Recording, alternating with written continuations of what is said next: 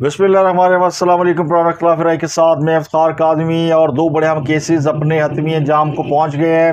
مخصوص نشستوں کا فیصلہ محفوظ کر لیا گیا۔ ہے اس کے علاوہ ادھر نکاح کیس میں اپیلوں کا فیصلہ بھی اگلے چوبیس سے بہتر گھنٹوں میں سامنے آ سکتا ہے۔ یہ وہ کیس ہے جس میں عمران خان صاحب سزا کاٹ رہے ہیں۔ اگر اس کیس میں عمران خان صاحب کی بریت ہو جاتی ہے تو پھر ان کو اڈیالہ جیل سے رہا کیا جا سکتا ہے۔ لیکن ایک بڑی ڈیولپمنٹ یہ ہوئی ہے کہ عمران خان کے خلاف نو مئی کے کیسز میں ان کی عبوری ضمانت منسوخ کر دی گئی ہے۔ تو اب عمران خان کی جو گرفتاری ہے وہ نو مئی کے کیسوں میں ڈالی جا رہی ہے۔ عمران خان صاحب جناح ہاؤس، عسکری ٹاور اور شادمان تھانہ جلاؤ گراؤ کیس میں عبوری ضمانتوں پر تھے۔ لاہور کی انسداد دہشت گردی عدالت نے عمران خان کی عبوری ضمانتوں پر فیصلہ محفوظ کر رکھا تھا۔ یہ فیصلہ چھ جولائی کو محفوظ کیا گیا تھا۔ جج خالد ارشد نے آج محفوظ فیصلہ سنا دیا اور ان کی ضمانتیں کر دیا مسترد۔ اب عمران خان اور ان کی اہلیہ بشا بی بی اڈیالہ جیل میں قید ہے انہیں ادھر نکاح کیس میں سزا ہے۔ اب عمران خان اگر رہا ہو بھی جاتے ہیں اس کیس کے اندر جو کہ اپنے کلائمکس سر بڑھ رہا ہے، تو وہ جیل سے باہر نہیں آ سکیں گے۔ اب دوسرا معاملہ مخصوص نشستوں کا ہے، اس کیس کے فیصلے سے بھی بہت کچھ بدل سکتا ہے۔ تبدیل ہو سکتا ہے۔ اگر یہ فیصلہ حکومت میں حق میں آتا ہے تو حکومت امپاور ہو جائے گی، انہیں دو تہائی ایکسیز مل سکتی ہے اور وہ قانون سازی کر سکیں گے۔ اگر یہ حکومت کے حق میں نہیں آتا تو پھر حکومت قانون سازی کے معاملے میں مشکلات کا شکار ہو جائے گی۔ مسئلہ ایک قانون حکومت منظور کرانا چاہتی ہے، جس میں ججوں کی مدت ملازمت میں توسیع چاہتی ہے تو وہ مشکل ہو جائے گا، وہ معاملہ التوا کا شکار ہو جائے گا۔ تحریک انصاف یہ الزام لگا رہی ہے کہ مخصوص نشستیں حکومت اور ان کے اتحادیوں کو دے کر امپاور کیا جا رہا ہے تاکہ اس کے ذریعے مختلف قسم کے قوانین منظور کرائے جائیں، کچھ عام شخصیات کو ایکسٹینشن دی جائے۔ تو یہ بہرحال یہ ہیئر سینگ ہے۔ اس کے علاوہ تحریک انصاف جو ہے، اس کو اگر یہ سیٹیں مل جاتی ہیں، مثلا یہ فیصلہ حکومت کے خلاف آتا ہے، تو ان کو کیا فائدہ ہوگا؟ تو ان کو سوائے عددی نمبر میں اضافے کی اور کوئی فائدہ نہیں ہوگا۔ لیکن ایک فائدہ ان کو یہ ہوگا کہ چیف جسٹس قاضی فائز عیسیٰ کو ایکسٹینشن نہیں مل سکے گی اور وہ چاہتے بھی ہیں کہ جسٹس قاضی فائز عیسیٰ ہو جائے اور ان کی جگہ پر جو ان کے بعد جنہوں نے چیف جسٹس بننا ہے، وہ جسٹس منصور علی شاہ ہے۔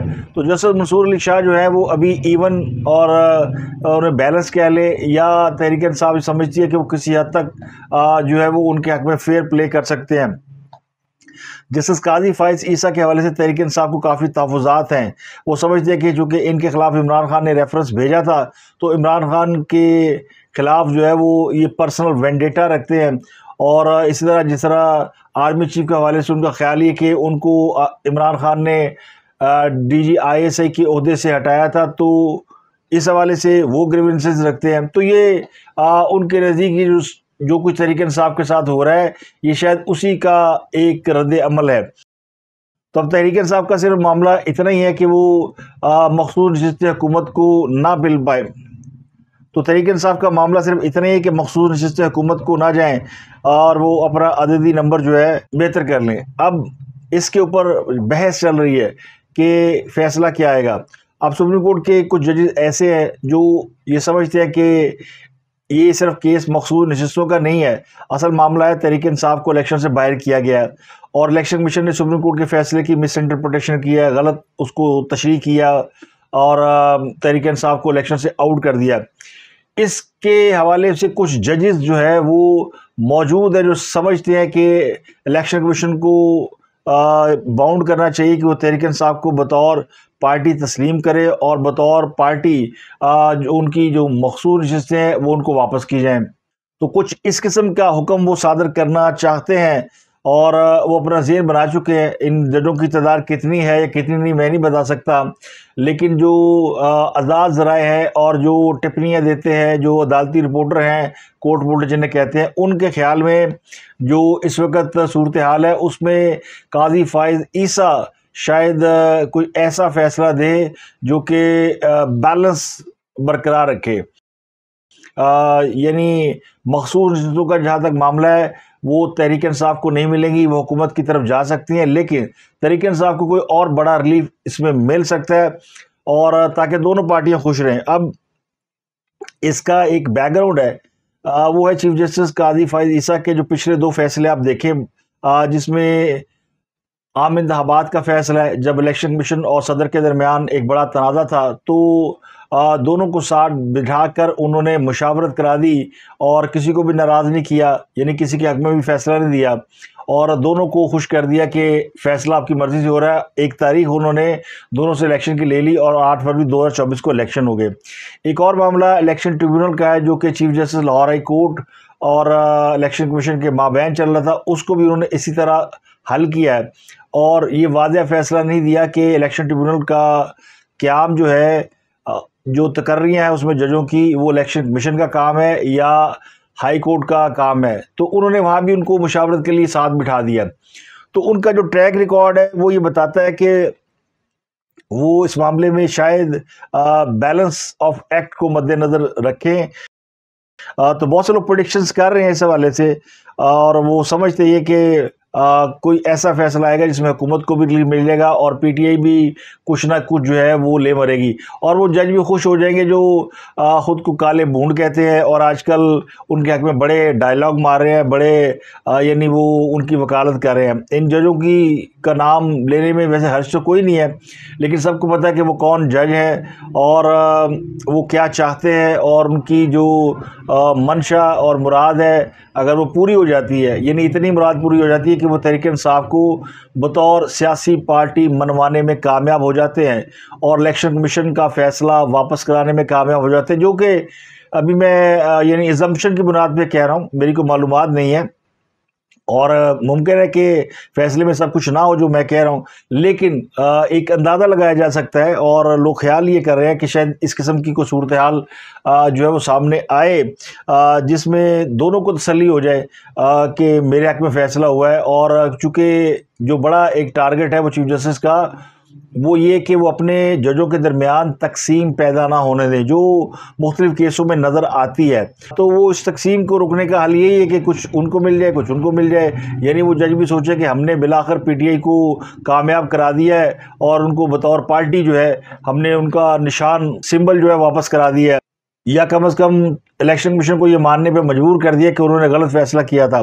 تمہارا لگتا ہی ہے کہ ایسا فیصلہ آئے گا جس سے دونوں کو سلی ہو جائے گی آگے تیرے پاگلے چاہیے اب آتے ہیں خاص صاحب کے حوالے سے کہ خاص صاحب عدالتوں سے تو ریلیف لے رہے ہیں اور لے بھی لیں گے۔ ان کے پاس وکلا کی ایک فوج ظفر موج ہے۔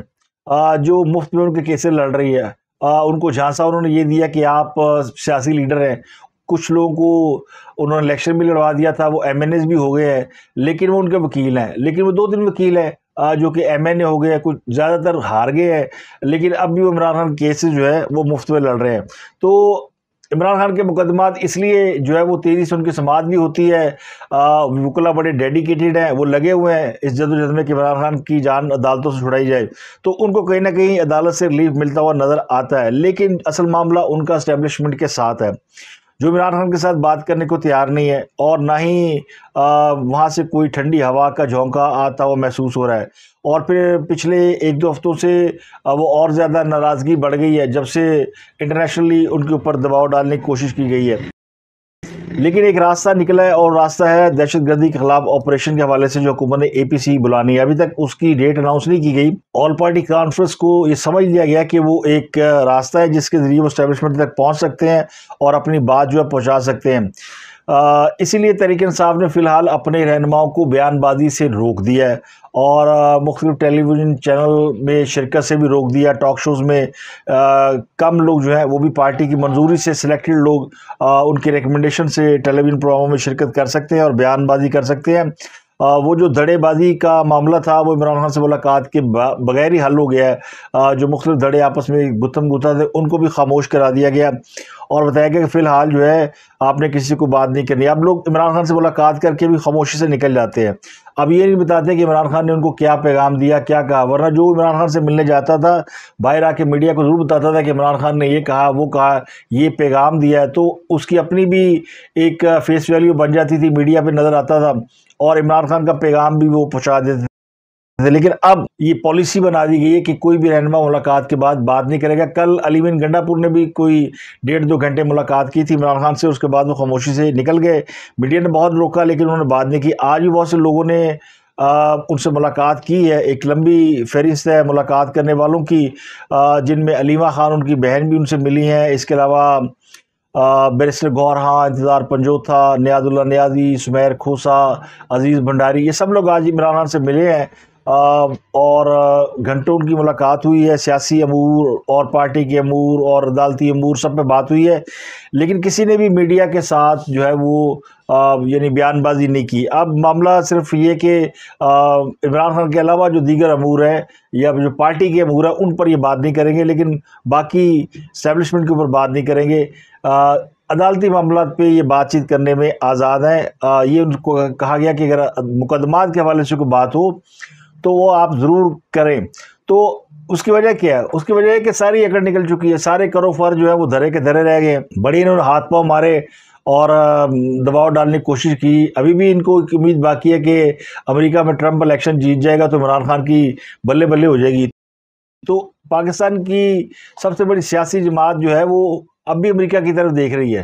جو موجودہ حکومت ہے بائیڈن کی وہ وہ بھی سمجھتی ہے کسی حد تک۔ اور وہ اس بات کو پسند نہیں کرتی۔ اور پہلی بار امریکہ نو مئی کے حوالے سے کل ایک بیان بھی دیا، جو میں نے آپ کے سامنے پیش کیا تھا کہ انہوں نے تشدد کی سیاست کی کس طرح انہوں نے اپوز کیا۔ اس سے پہلے وہ نو مئی کے سوال کو گول کر جایا کرتے تھے۔ تو بائیڈن انتظامیہ بھی سمجھتی ہے کہ یہ معاملہ کس طرف جا رہا ہے۔ گو، اب فیصلہ امریکہ کا تو ہونا ہی ہے کہ بائیڈن ہوگا یا ٹرمپ ہوگا، لیکن اس فیصلے کا پاکستان پر بھی کچھ نہ کچھ اثر ضرور پڑے گا۔ تو طریقہ صاحب کو یقین ہے کہ ٹرمپ جیت گئے تو عمران خان کو ریلیف مل جائے گا گو کہ اس کی کوئی گارنٹی نہیں ہے، لیکن پھر بھی وہ یعنی امید لگائے بیٹھے ہیں۔ لیکن احتیاطاً انہوں نے ابھی سے اپنے آپ کو سمیٹنا شروع کر دیا، کیونکہ معاملہ بڑے نازک موڑ میں داخل ہو گیا۔ اب نو مئی خان صاحب کے گلے کا باقاعدہ پھندا بننے جا رہا ہے۔ اور انہیں اس بات کا خدشہ کہ اب انہوں نے کوئی ہینکی پھینکی کی تو پھر ان کی بچت کا کوئی راستہ نہیں رہے گا۔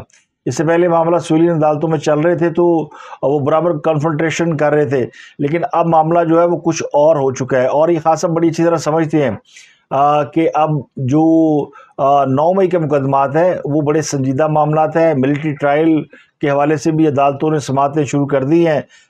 جلد ہی عدالت فیصلہ دے دے گی کہ سویلین کے مقدمات ملٹری کورٹ میں چل سکتے ہیں یا نہیں چل سکتے۔ تو وہ اختیار جو ہے وہ بر اب انہیں جو نظر آنا شروع ہو گئی کہ وہ کر لینی چاہیے۔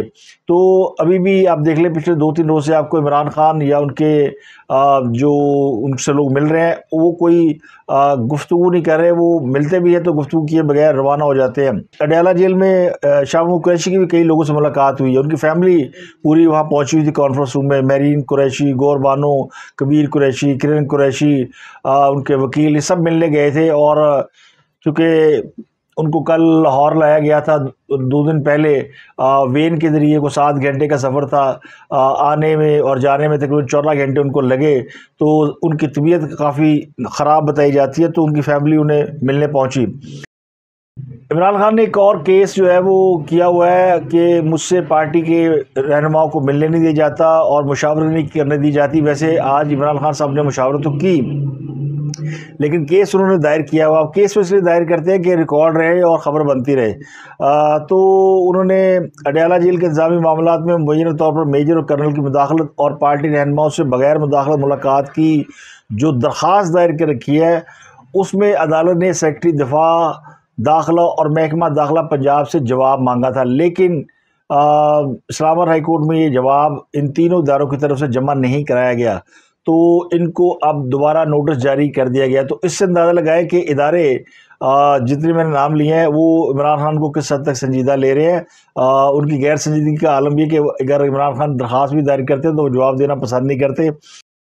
جنوبی وزستان میں سیکورٹی فورسز میں اور دہشت گردوں میں فائرنگ ہوئی ہے۔ تین جوان اس میں شہید ہو گئے ان میں سپاہی اسد اللہ محمد سفیان اور زین علی شامل ہیں۔ چوبیس سالہ زین علی بہالپور، چوبیس سالہ زین علی بہاول نگر، تیس سالہ اسد اللہ کا تعلق مٹیاری اور اٹھائیس سالہ سفیان کا تعلق جو ہے وہ ڈیرہ اسماعیل خان سے تھا۔ اس سے پہلے یہ جو ہے وہ ایک اور شمالی وزیرستان میں جو سیکورٹی فورسز دہشت گردوں کے درمیان فائرنگ ہوئی جس میں ینگ کیپٹن محمد اسامہ بن ارشد شہید ہوئے۔ اس میں دو دہشت گرد بھی مارے گئے تھے۔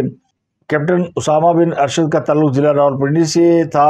انہوں نے چوبیس اکتوبر دو ہزار بیس میں پاکستان آرمی میں کمیشن حاصل کیا تھا۔ تو ان کی تدفین جو ہے وہ کر دی گئی ہے اور یہ پاکستان کے اندر دہشت گردی کے جو واقعات ہیں وہ بڑھتے جا رہے ہیں اور ذرائع کہتے ہیں کہ جو کالدم تنظیمیں ہیں وہ آپریشن کے خوف سے مزاحمت پر آمادہ ہے اور ابھی حکومت نے آپریشن شروع نہیں کیا۔ ابھی اس میں کافی مراحل باقی ہیں، لیکن دہشت گردوں نے رد عمل دینا شروع کر دیا۔ تو پتہ نہیں حکومت کس بات کا ویٹ کر رہی ہے۔ اگر فیصلہ کر لیا گیا ہے کہ عزم استحکام آپریشن کرنا ہے، تو پھر اس پر جو ہے مزید تاخیر جو ہے، وہ مہلک ثابت ہو سکتی ہے۔ آج پرائم منسٹر نے ایک پریس کانفرنس کی اور میں آپ سے مدد کرنا چاہتا ہوں۔ کل میں نے پروگرام میں یہ کہا کہ شاید حکومت جو ہے وہ دو سو یونٹ استعمال کرنے والوں کے حوالے سے جو انہوں نے بجلی قیمت بڑھائی ہے، اس کو واپس لینے کا ارادہ رکھتی ہے۔ لیکن آج پتہ چلا کہ دو سو یونٹ بجلی استعمال کرنے والے صارفین کو تین ماہ کے لیے صرف رعایت دی گئی ہے۔ یعنی جو اضافہ کیا گیا ہے وہ برقرار ہے۔ لیکن تین ماہ تک یہ وصول نہیں کیا جائے گا۔ آج بڑا ایک دن تھا جس میں حکومت نے پرائم منسٹر نے بیٹھ کے پریس کانفرنس کی اور بتایا کہ ہم نے بہت بڑا کام کیا ہے۔ اور اس میں اربوں روپے کی سبسڈی لگتی ہے۔ اگر تین مہینے کے لیے عوام کو ریلیف دیا جائے تو وہ بھی ہمیں چالیس پچاس ارب میں پڑتی ہے۔ انہوں نے کہا، ہم نے سیاست کو داؤ پر لگا کر ریاست کو بچایا ہے۔ اگر ریاست کو بچایا نہ ہوتا تو کہاں کی سیاست اور کہاں کا بجٹ؟ تو وہ ٹھیک کہہ رہے ہیں کہ اس وقت تو نہ کسی کو بجٹ کی فکر ہے، نہ کسی کو سیاست کی فکر ہے۔ اس وقت تو ریاست کو بچانے کی فکر ہے۔ اور ساتھ ہی یہ فکر ہے کہ معاشرت کسی حد طریقے سے ٹھیک ہو جائے اور آئی ایم ایف کے ساتھ اگلے دو ہفتوں میں پاکستان جو اپنے تمام جو ہے وہ مراحل طے کر لے گا اور امید کی جا رہی ہے کہ اگست میں پاکستان آئی ایم ایف سے تین سال کے لیے قرض کا پروگرام لینے میں کامیاب ہو جائے گا۔ اس سے پہلے کہا جا رہا تھا کہ یہ لانگ ٹرم ہے، سات آٹھ سال کے لیے، لیکن آج پرائم منسٹر نے کہا کہ وہ تین سال کے لیے ہم بات کر رہے ہیں۔ لیکن جو وزیر خزانہ ہے، وہ یہ کہہ رہے ہیں کہ ہم کوئی پانچ سات سال کے لیے قرض لیں گے اور لانگ ٹرم لیں گے تاکہ ہم اسے واپس کرنے میں ہمیں کافی ٹائم مل جائے۔ اس کے علاوہ بانی پی ٹی آئی کی اہلیہ بشا بی بی کے سابقہ شور ہاور مانیکا نے کہا کہ آپ کو نکاح کی اتنی جلدی کیوں تھی؟ قوم کو وجہ تو بتا دی۔ یعنی ہاور مانیکا عمران خان سے پوچھ رہا ہے، یا اپنی اہلیہ سے پوچھ رہا ہے کہ یہ تو بتا دے کہ نکاح کی جلدی کیا تھی۔ تو بھائی اگلے نے وزیر اعظم بننا تھا۔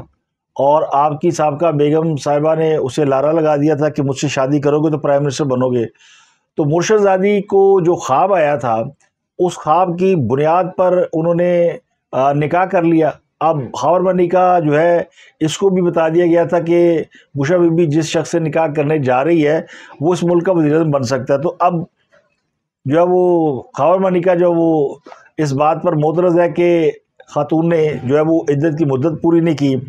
تو لوگ ان سے پوچھتے ہیں کہ بھائی پہلے کتنے سو تو خاور منیکا جو ہے وہ پہلے بھی ادھر تھا، لیکن چونکہ عمران خان صاحب چار سال اس ملک کے وزیر اعظم رہے ہیں، تو وزیر اعظم کے خلاف تو کوئی بھی نہیں جا سکتا نا۔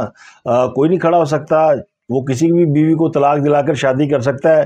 تو ایک دو نہیں کو تین چار پاکستان کے وزیر اعظم ایسے ہیں جنہوں نے کسی خاتون کو اس کے شوہر سے طلاق دلوا کر نکاح کیا یا شادی کی اور اس میں بڑے بڑے نام شامل ہیں، تو عمران خان نے بھی یہی کام کر لیا، مگر عمران خان کا مسئلہ شادی نہیں ہے، فراڈ کی شادی کا تو بیچارہ ہاور منیکا کافی پریشان ہے۔ تو اسلام آباد میں اس نے پریس کانفرنس کی، وہ پریس کانفرنس سارے ٹی وی نے دکھائی اور اس نے کہا کہ میں اپنی صفائی نہیں دے رہا۔ چار سال میرے خاندان کو برا بلا کہا گیا۔ لیکن انہوں نے اپنی تمام جو نکاح کے حوالے سے باتیں ہیں، دوبارہ سے وہ دہرائی اور کہا کہ آج تک اس شخص سے نہیں پوچھا گیا کہ آپ نے نکاح کیوں چھپایا۔ مغرب کی مثالیں دیتے ہیں، وہاں ایسے معاملے پر استعفیٰ دے دیتے ہیں۔ تو یہ ایک وہ نئی اصطلاح سامنے لے کر آئے اس سے پہلے انہوں نے درخواست دی تھی کہ جو اسلام آباد ہائی کورٹ نے آرڈر دے رکھا کہ اس مقدمے میں جو اپیلوں کا فیصلہ ہے وہ بارہ جولائی تک سنایا جائے، اس کو ایکسٹینڈ کر دیا جائے۔ لیکن جسٹس میاں گل حسن اورنگزیب نے انکار کر دیا اور انہوں نے کہا کہ نہیں، جو اس سے پہلے فیصلہ آیا تھا کہ ایک ماہ میں اس کیس کی اپیلوں کا فیصلہ سنا دیا جائے گا، تو بارہ جولائی تک یہ فیصلہ جو ہے، وہ سنایا جائے۔ اب اس لیے میں کہہ رہا ہوں کہ یہ فیصلہ جو ہے اگلے یعنی چوبیس سے بہتر گھنٹوں میں یہ فیصلہ آ جائے گا۔ اس کے علاوہ عمران خان کی بہنوں اور تحریک صاحب کے جنرل سیکرٹری عمر یوب سمیت متعدد افراد کی عبوری ضمانتوں میں اتحاد دہشت گردی عدالت لاہور نے چوبیس جولائی تک توسیع کر دی ہے۔ یہ نو مئی جلاؤ گراؤ مقدمات میں عبوری ضمانتوں پر تھے۔ تمام ملزمان کی ضمانتوں میں چوبیس جولائی تک توسیع کر دی گئی ہے۔ جبکہ عدالت نے عسکری ٹاور کے مقدمے میں تمام ملزمان کو شامل تفتیش ہونے کا حکم دے دیا ہے۔ ملزمان میں فواد چودھری، اسد عمر، مسرت جمشید چیمہ اور دیگر نے عدالت میں پیش ہو کر حاضری مکمل کرائی ہے۔ اس کیس میں جج اور عمران خان کی ہمشیرہ علیمہ خان میں سخت جملوں کا تبادلہ ہوا جس میں علیمہ خان نے جج صاحب سے کہا کہ اگر پولیس افسران عدالت میں جھوٹ بولے تو سزا کیا؟ ہمیں دو دو گھنٹے تفتیش کے لیے بٹھایا جاتا ہے۔ یا آ کر کہتے ہیں کہ ہم شامل تفتیش نے ہوئے۔ اگر ہم نے کوئی جرم کیا ہے تو ہمیں جیل میں ڈال دیں۔ تو جج صاحب نے کہا، ہمارا کام جیل میں ڈالنا نہیں، ہمارا کام شواہد دے کر فیصلے کرنا ہے۔ علیمہ خان صاحبہ نے ترکی بترکی جواب دیا کہ کیا کوئی وقت نہیں ہوتا کہ اتنی مدت میں تفتیش مکمل کرنی؟ یعنی تفتیش کے لیے کوئی ٹائم لائن نہیں ہوتی۔ دور دراز سے لوگ آتے ہیں لیکن تفتیش ہی نہیں آتا۔ یا تو تفتیش سے کہیں کہ ہمیں جیل میں ڈال دیں یا ضمانت منظور کر لیں۔ تو جج نے کہا کہ ایک سال سے آپ ضمانتوں میں پیش ہو رہی ہیں اور کبھی آپ نے اتنا زور نہیں دیا۔ آپ جب بھی آئی ہیں، تاریخ لے کر چلی گئی ہیں، مگر آج آپ اچانک سے بولنے لگ پڑی ہیں۔ تو علیمہ ہاں خان نے کہا کہ ایک وقت آتا ہے کہ انسان بے بس ہو جاتا ہے یا انسان کی بس ہو جاتی ہے، تو کبھی تفتیشی کو ہارٹ اٹیک ہو جاتا ہے، کبھی ہائی کورٹ چلا جاتا ہے۔ تو اس پر جج نے کہا کہ آپ سوچیں کہ تفتیشی افسر پر کتنا پریشر ہوگا۔ ہم ایک دو تاریخوں میں آپ کا فیصلہ کر دیں گے۔ انہوں نے کہا کہ نہیں، آپ یا ہمیں جیل میں ڈالیں یا تفتیشی کو جیل میں ڈالیں۔ تو یہ عجیب سا مطالبہ ہے نا کہ انویسٹیگیشن افسر کو جیل میں ڈالو یا مجھے جیل میں ڈالو۔ تو جج صاحب مسکرا دیے اور انہوں نے ان کو عبوری ضمانتیں دے دی اور کہا کہ ایک دو پیشیوں میں آپ کا فیصلہ کر دیں گے۔ اس کے علاوہ سپریم کورٹ نے سابق ڈپٹی اسپیکر قاسم سوری کی ساری جائیداد کی تفصیلات طلب کرتے ہوئے وفاق، بلوچستان حکومت اور ایف آئی کو نوٹس جاری کر دیا ہے۔ فواد چودھری کو بیرون ملک جانے کی اسلام آباد ہائی کورٹ نے اجازت دے دی ہے۔ انہیں دو ہفتوں کے لیے یعنی دس سے چوبیس اگست تک کے لیے بیرون ملک جانے کی اجازت دی گئی ہے۔ ایک اور بات جو مخصوص نشستوں کے کیس کے حوالے سے ہے اس میں چیف جسٹس پاکستان نے یہ آج کہا کہ فیصلہ سنانے سے متعلق آپس میں مشاورت کریں گے۔ فیصلہ کب سنایا جائے گا ابھی کچھ کہہ نہیں سکتے۔ تو اس پر جو ہے تحریک انصاف کے کچھ لوگ جو ہے وہ دعویٰ کہہ رہے ہیں کہ مقابلہ چھ چھ سے برابر ہے۔ چھٹیوں میں ایک جج توڑ لیا گیا ہے۔ جج نہ ہوا، کوئی عام ہو گیا جو کسی نے توڑ لیا۔ تو یہ انٹلیکچول لیول ہے ان یوتھیوں کا۔ تو اب تک کے لیے اتنی آپ سے ملاقات ہوتی ہے۔ اگلے بھی میں اپنا گرد و نواز کے لوگ بہت خیال رکھیے۔